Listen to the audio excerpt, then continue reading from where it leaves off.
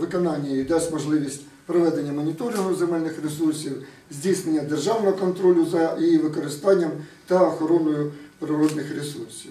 До основних напрямків програми, відповідальним е, яких, за які є департамент, належить інвентаризація земельних ділянок, зайнятих полезахисними смугами, розташованих на землях сільськогосподарського призначення, інвентаризація земель водного фонду і наповнення інтерактивної карти водних об'єктів, придатних для рибогосподарських потреб на території Полтавської області.